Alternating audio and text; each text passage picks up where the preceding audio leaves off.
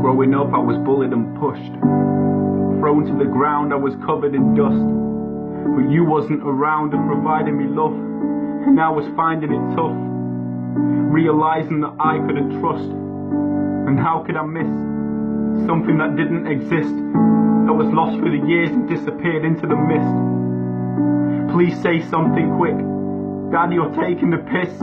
Why did you run instead of raising your kids? Why did you leave instead of facing the shit? If only you stayed, I wouldn't have changed into this.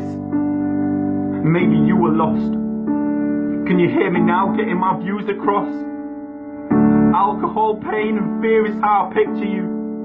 It wasn't only me you did this to, you did this to my sister too. So don't expect me to forgive you soon. That was a dickish move, and you've left me in this consistent mood, and now I'm the one you're gonna listen to. I said that I don't love you, but that isn't true. I'm just disgusted by the fact you couldn't stick it through. You're talking of pride, I'll swallow it in time.